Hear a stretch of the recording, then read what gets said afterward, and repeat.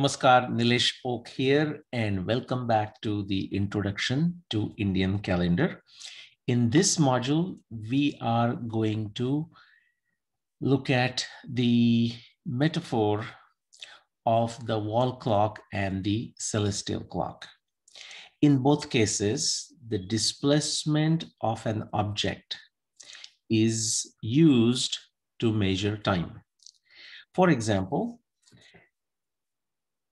in a typical wall clock, we have three specific things on the wall clock itself. One is the long arm, other one is the short arm, and then the background reference circle, naturally 360 degrees divided into 12 parts. Those are the 12 hours. And each of this hour could be divided into five sub parts, and that refers to uh, minutes. Now, what are some of the things that we need for a functional wall clock? One is the reliable movement of the moving objects, specifically the long arm and a short arm. Then we also need a reference frame to track the movement of these moving objects, which is that circle of 360 degrees, first divided into 12 different parts, and then also 60 different parts. So five times 12, that is 60. So 12 hours and 60 minutes. Then the third thing we also need is a reference starting point. And in the case of a wall clock, it simply refers to a specific location for which the time of the day is measured, such as New York, London, or Tokyo. Now let's look at the celestial clock. Now in the celestial clock, the smallest unit is the unit of a day. In the celestial clock, the day is the smallest unit of measure. What you see here is very similar to what we saw on the wall clock. Imagine the earth at the center. Now that is, that is the reference point for which we are creating the calendar. And we have two moving objects around the earth as seen from the earth. Moon is going around the earth and the sun is also going around the earth. Now remember, we are referring to the relative motion. So as seen from the earth, both moon and sun appears to go around the earth. Think of them as the long arm and the short arm. The long arm can be directionally compared with the mo movement of the moon. The short arm can be directionally compared with the movement of the sun. And similar to the background reference frame of 360 degrees divided into 12 parts, that is 12 hours, and then further divided into 60 parts for 60 minutes. We can imagine multiple ways to divide this celestial circle, either as six seasons of two solar months each, or you can divide this into 12 solar months of 30 degrees each. And also, one can imagine dividing this celestial circle into 27 equal parts, referring to 27 nakshatras. Now let us look at a typical Panchanga, typical calendar. So first I'm going to show you what is called Bharat Dinadarshika. It is the outcome of my research on the dating of the Mahabharat war and therefore the use of the year of the Mahabharat war 5561 BCE as the sheet anchor or as the reference point for the calendar and that's what you will see on the left side uh, line number four, row number four, which says Mahabharat Samvat 7581. Now, this was done in collaboration with a traditional Panchanga makers family, one of the oldest, if not the oldest living tradition of Panchanga makers in India, and that, that is Date Panchang.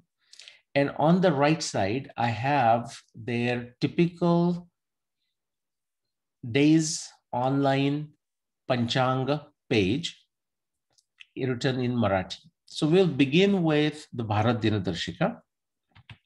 Let's look at the very first line. That's the Gregorian date, 17 February 2021. This is something every one of us would relate to, would understand. Now, as we go down, some of us will able to identify some of these things and some of us or all of us would not understand some of the things, some specific elements at all. So let's see what else we have. So Gregorian date is what typically people would know. Uh, this is based on the, that Gregorian calendar. Uh, it is a purely solar calendar, but it does not take into account the background stars. So it is more of a tropical in nature, not the sidereal type. The next thing we are going to look at is the three elements which are specific to this day, which is to say more than likely they're going to change the next day, tomorrow. So the weekday is mentioned as Wednesday, then Tithi of the day is mentioned as a Shashti, as in six, and Nakshatra is mentioned as Ashwini. This is the information about the specific day. Now let's look at the information about the month or masa. At the, at the top there in this green square, you see Saura Masa, that is a solar month. And the name of the Indian solar month is Tapasya. Next to that, we have uh, two types of lunar months. One is called Chandra Amantamas or Amantamasa. And right now it happens to be Magha Shukla Paksha. The Chandra Purnamantamasa is a Magha Shukla Paksha. They both are identical right now, these for this day. Now, what is the different difference between Amantamasa versus Purnamantamasa? If we assume that everyone listening to this understands what a full moon day is and what is meant by the day of Amavasya or new moon day, then a lunar month that is measured, that starts, begins from the Amavasya, the new moon day, and ends with the next new moon day is called the Amantamasa or Amanta month. The Purnimanta month Purnimanta Masa is something that begins on the full moon day and it ends at the next full moon day. Let's look at additional elements. Now we have uh, information about the Saura Ritu, that is the season. And season is always directed, always decided by the sun. So it's a solar season. So we don't have to necessarily say it. If we say season, then we understand it is because of the relative position of the earth or particular hemisphere of the earth with respect to the sun. But just to emphasize the point that the seasons are driven by this relative combination and especially the position of the sun, we are calling it Saura Rutu, and that happens to be Shishira Rutu. Then the next thing we have is the Ayana, uh, and it is Uttarayana.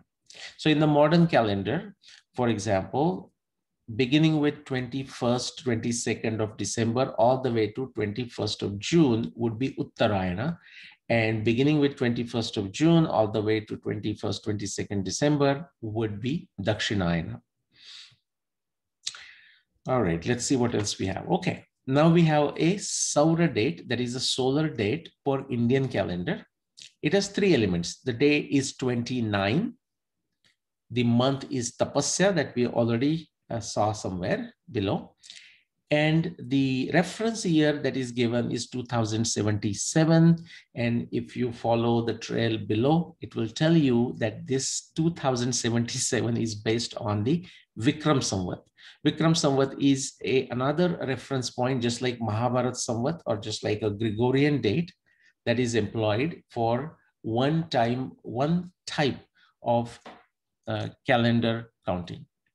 There is another one actually, that is the Shalivahan Shaka, again, very popular in India.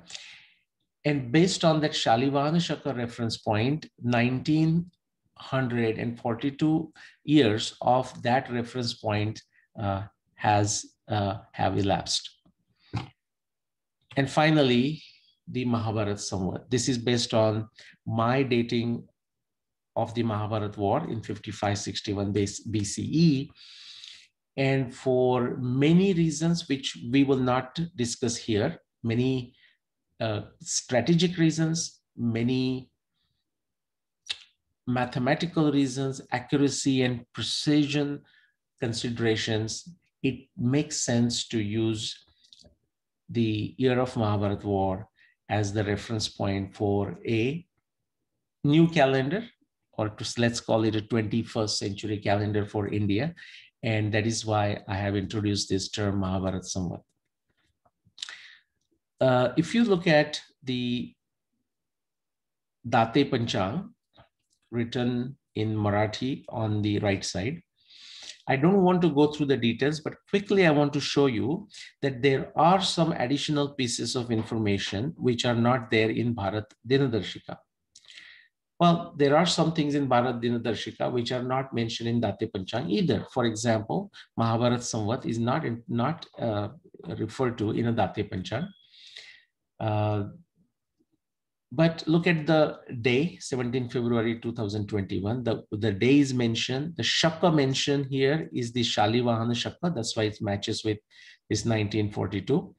The type of Samvatsar, there are many names for its specific years and they go through a cycle of 60 and there can be many other cycles, but this cycle has uh, each year has a specific name and after it goes through those 60 years it the whole list will be repeated again.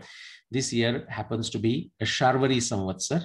Then you can notice the ayana is the same uttarayan the season is a shishira rutu the month is Magh and in this case it is the amanta reckoning which is very common for uh, most part in India. However, there are certain parts of India which uses this Purnimanta uh, uh, calculation of the calendar. The Tithi is mentioned, it's Shashti, then, and it says Ahoratra, meaning almost for most part of the day, this day, the Shashti was the Tithi. Nakshatra is mentioned as Ashwini. Next to that is the timing given, which is to say at what time that nakshatra will change to the next nakshatra. Two additional things you can see here, which are considered key parts of a traditional Indian Panchang, which we are not going to discuss in this particular introductory course on Indian calendar. And they are also not mentioned in Bharat Dinadarshika to keep things simple.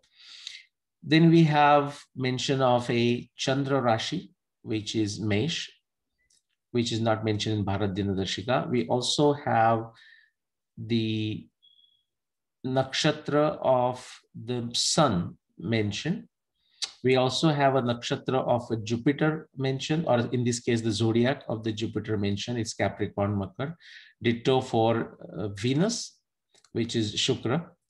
And the nature of the day from the Muhurta perspective, okay?